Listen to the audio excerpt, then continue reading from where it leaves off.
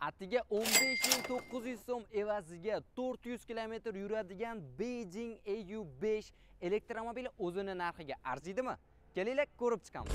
Elektromobilimizda 163 ot kuchi mavjud. Ishonasizlarmi? Bu toychog'imiz Malibuda 0 dan 100 gacha olib qo'yar ekan.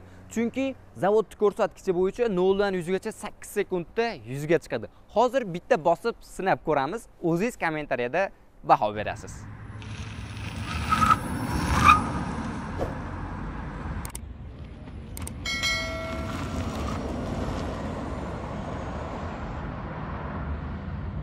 Demak d ga olamiz elektron qo'ltorimizni tushiramizda biz sport rejimida haydaymiz. Mana buni bu joyni ko'rishinglar mumkin. D da turibdi endi bo'lsa s ga o'tdi ya'ni o'sha sport rejimi. Endi bitta bosib ko'ramiz. Tayyormizmi? Demak ketdik.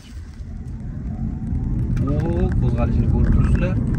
Judayam zo'r ajoyib. Bitta bu joydan o'tib olamizda va yana bosamiz. Agar e'tibor berayotgan bo'lsa mana bu joydan hozir bitta qaytib olamiz. Hozir yana bitta narsasini sinaymiz. Deylik qirqda ketyapmiz. Xuddi shu holatda bossak ya'ni riski qanaqa? Shuni ham bitta sinash kerak. Faqat noldan yuzgacha emas mana qaranglar deylik shahar ichida mana deylik qirqda ketyapmiz. Avg'omga chiqishimiz kerak. Shu holatda nima qilamiz? Mana gazni bosdik o'q qo'shishini qaranglar. Bu joydan bitta o'tib olamiz demak to'rt ko'chadan. Qaranglar mana.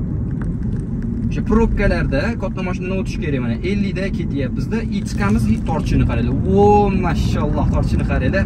Xullas risk judayam zo'r. Tortish просто gap bo'lishi mumkin emas. Shaxsan menga oldi ko'rinish juda ham yoqdi ko'rib turganingizdek xrom elementlar bilan boyitilgan asosiy optika lupa bilan jihozlangan lekin ko'rib turganingizdek yonga qayrilish ya'ni поворотникlar odatiy ekan. Ya'ni galagenli va kunduzgi yoritish chiroqlarimiz albatta led chiroqlari bilan jihozlangan. Pastda esa beijing yozuvini ostida bistre zaryadga yashiringan.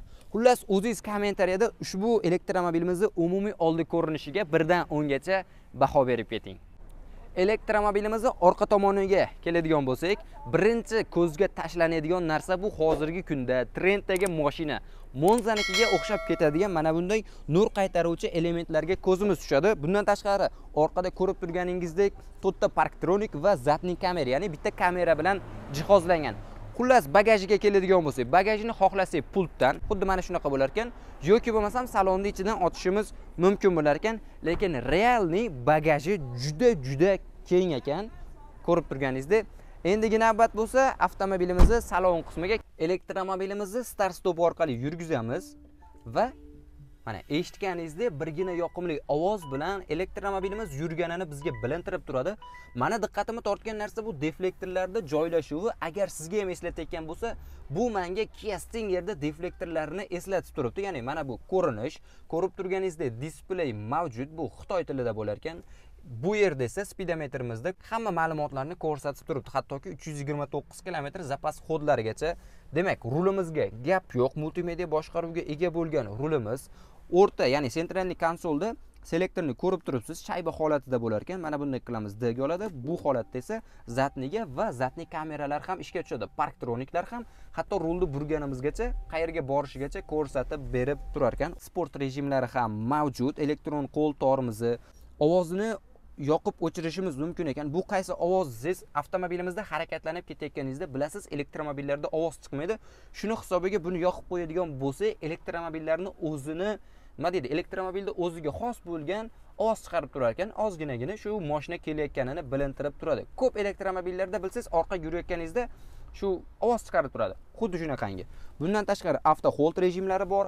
Yana tepalikdan tushish assistenti va protivobuksovkalarni ham o'zimiz sozlashimiz mumkin bo'lar ekan. Bu joyda klimat kontrolni sozlashimiz va multimedia boshqaruvini bu yerdan o'zgartirishimiz ya'ni o'zimizga sozlashimiz mumkin bo'lar ekan. Sidinalarga keladigan bo'lsak kojni ko'rib turganingizdek orqalari ham yetarlicha keng. Ho'p kelinglar faqat maqtovmasdan minus tomonini aytaman.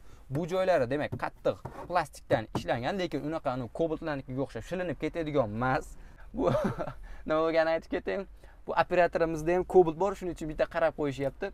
Xullas yana bitta minusi luk yo'q ekan lekin lukni mana bu ochib yopishga mo'ljallangan bu joyi bor.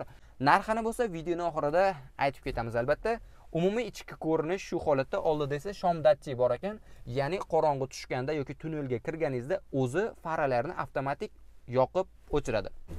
Xuddi shu qulayliklarga ega bo'lgan Beijing EU5 elektromobilimizning narxi 27 ming dollar. Lekin farg'onaliklar uchun ajoyib yangilik. China motors farg'onada o'z filialini ochganligi munosabati bilan farg'onaliklar ushbu elektromobilimizni boshlang'ich 16 ming dollar qolgan 11 ming dollarini har oy bo'lib to'lashga ya'ni halol nasiya savdoga xarid qilishingiz mumkin bo'ladi. Endi doimiy savolimiz bu narxga Beijing elektromobilimiz arziydimi ya'ni narxiga yarashami? Endi siz izohlarda ha yoki yo'q deb yozib qoldiring. Aytgancha yana bir kichkinagina bir sovg'amiz bor. Buni esa china motorsni filialiga borganingizda bilib olishingiz mumkin bo'ladi. Demak sizlar bilan doimgidek kamina avtobloguz muhammad rizo bo'ldi. Keyingi obzorlarda ko'rishguncha salomat bo'ling. Kanalga obuna bo'lishni unutmang.